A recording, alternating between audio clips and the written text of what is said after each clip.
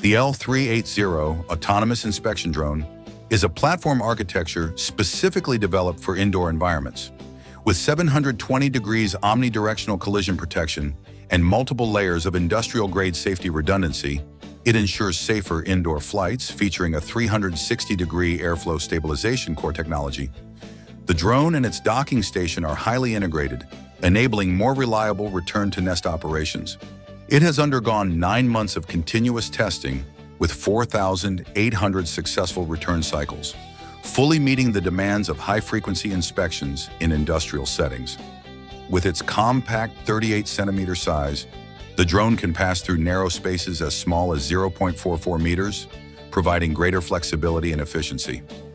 Combined with AI recognition algorithms, it can accurately identify indicator lights, pointer, digital gauges, liquid level meters, air switches, knobs, pressure plates, underground water leakage, fire safety facilities, smoke from fires, and more.